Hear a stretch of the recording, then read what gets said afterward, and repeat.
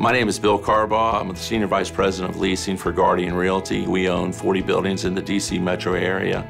We, we manage and lease office space and have been around for over 50 years.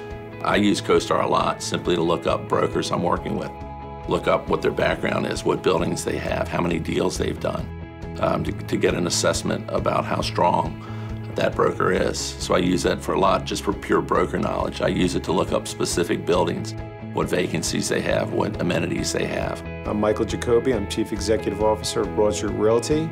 We're working on a deal at the moment in uh, Denver, Colorado, and I wanted to show somebody how robust that market was, how dense it was. You know, at a moment's notice, snap of a fingers, uh, we pull up the trade area, we can show people the subject property, we can show them the competition, we can show them the map feature, uh, we could show them uh, just about everything they wanted to know very quickly. It allows me to make an independent check on what, what the marketplace is. It allows me to see physically what the buildings look like.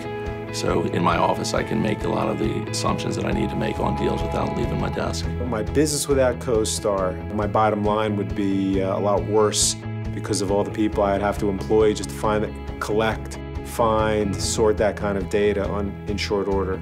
There's not a lot of other data that I look at other than CoStar.